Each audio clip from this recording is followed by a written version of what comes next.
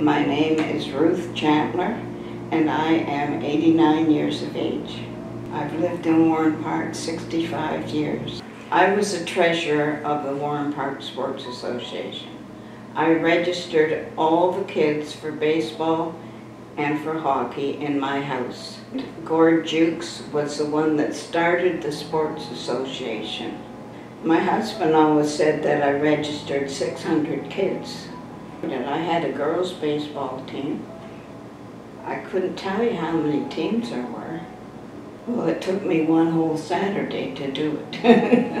it cost them $3 to join. And there was some families that couldn't afford it.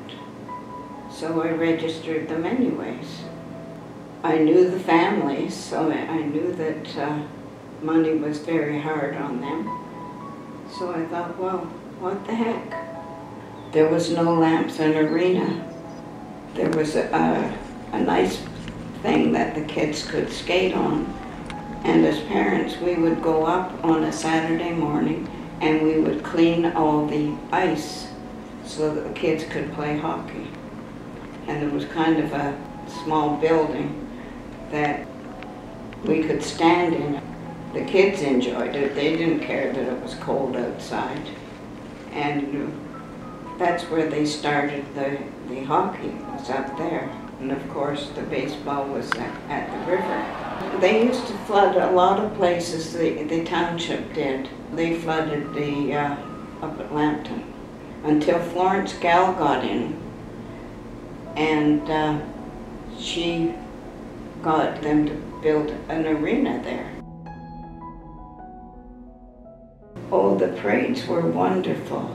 They were held for the opening of ball. They would start right outside here. And they would go down varsity and there would be girls throwing batons and we got dressed up in old-fashioned clothes. We also had a sports night where, you know, we gave out um, trophies and stuff.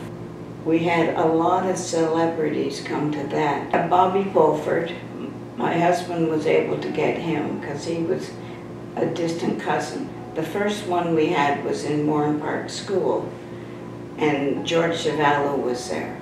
Rocket Richard, he was there. Dickie Duff was there.